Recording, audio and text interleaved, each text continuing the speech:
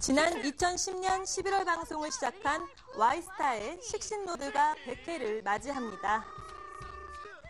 리얼 공복 버라이어티 식신로드는 아이돌 그룹이나 운동선수들이 가장 출연하고 싶은 프로그램으로 선정되기도 했는데요.